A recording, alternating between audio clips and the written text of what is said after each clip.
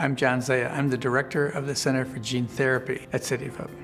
Gene therapy is an attempt to treat disease by correcting some abnormality by either introducing a gene that is missing or correcting a gene that is in the tissue or the cell that's defective.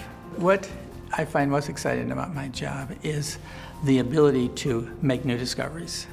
So in our gene therapy, we take HIV and we remove the elements from it that make it pathogenic. But it still has its basic machinery so that it can find the cell that it needs to, that is in the bone marrow, and, and, and infect it. And then do what AIDS does very well, it integrates into the DNA. And, and that joining of the virus with the DNA is called integration. And then you have one long strand of, of human DNA, but it has a little section in it from the HIV. So when we put in the modified HIV that has the genes in it that will attack HIV, it's kind of like we're using HIV to defeat itself.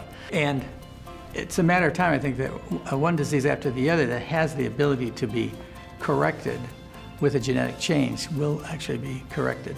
And that's what really brings me to work. And, and uh, trying to solve that problem is, is what's most exciting.